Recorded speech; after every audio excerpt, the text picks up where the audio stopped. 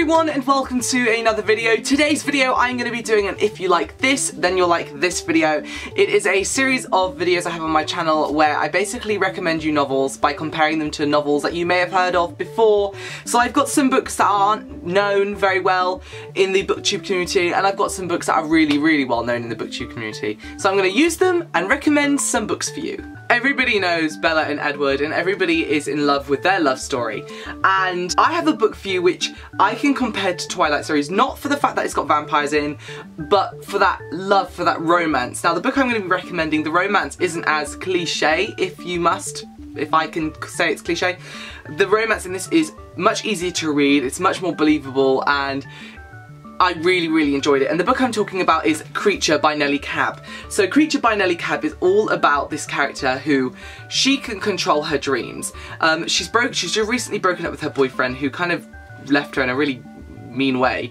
And she no longer has these control over her dreams and even where dreams they used to be her like safe haven where she could go to now they are plagued by this monstrous beast uh, and the monstrous beast turns out not to be as evil as she thought as, as she, he threatens her in the dream saying that I can I can find you you know I, I can always I am real I can get to you. And basically she goes to school next day and this new boy starts and the new, new boy comes up to her and he says I told you I could always get to you. And it's about the fact that there's kind of got gods in here. They're immortals, but they're very similar to your Roman e Greek gods, which are really, really awesome. And also the main character in this, she's different. She's not just like any other human, and you've got to read the story to find out why. But it's a really interesting about an immortal falling in love with a mortal and what he would do for her and vice versa. I thought it was a really interesting read. I actually read this in one sitting and I really, really enjoyed it. So definitely check out Creatura by Nely Cab. It's fantastic and it's free to download on Kindle. So why not go and download it?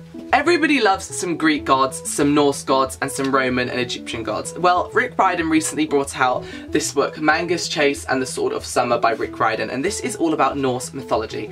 Now, I've got a book to recommend to you guys, which is a bit of a new adult book, so it's not a middle grade YA like this one, but it is all about Norse gods, and the book I'm going to be recommending is Elsker, book one in the Elsker saga by S.T. Bende. This is about Krista, who is just like us really. She prefers book clubs to nightclubs, she prefers Earl Grey tea to vodka, um, but she moves to a university and she meets somebody. A new boyfriend, this boy that she kind of falls for, isn't just like any other person really. He's actually a Norse god and is an assassin for the Norse gods.